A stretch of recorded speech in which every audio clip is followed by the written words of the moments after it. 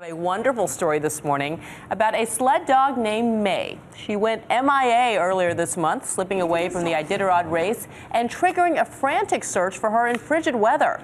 Gone for a week, there were several sightings, but the pooch always bolted whenever anyone got close. But in the immortal words of GMA's Josh Elliott, everyone is okay. ABC's John Schriffen. Different is here. Good words to go by Dan Bibiani. Good morning to you both. Now, if you're not familiar, the Iditarod dogs are not your average pets. They're more like marathon runners, trained to travel long distances. But the last week and a half for May, a nine-year-old veteran of the legendary race through Alaska, has been a harrowing journey. The Iditarod is one of the most grueling races in the world.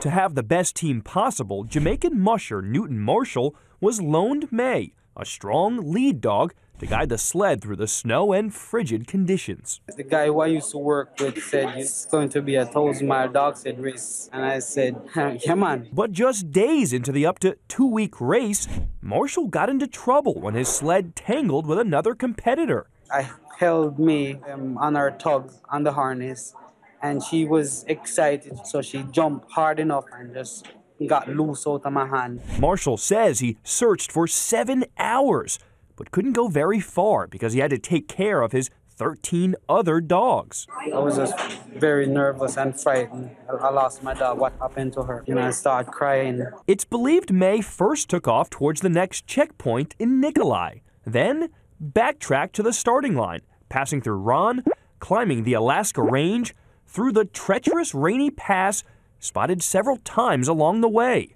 Then nearly 400 miles and seven days later, she was finally caught, only 40 miles from where the race started and nearly 50 miles from where May lives with her owners, Anna Bondarenko and Jim Lanier. She's a very determined little dog. So how did May survive in the wilderness on her own?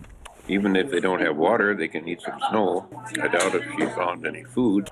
The frail pooch was found on the trail and handed over to the owner's neighbor, Stan Smith, who's pampering her paws until Anna and Jim return home. It's absolutely beyond a miracle that, that she survived this. What a pretty great story. Now, because May took off and was not found in time, her team had to withdraw from the race, but the happy and emotional reunion with her owners will take place tomorrow. She's like, what I miss? Right, exactly. All right, John, thanks.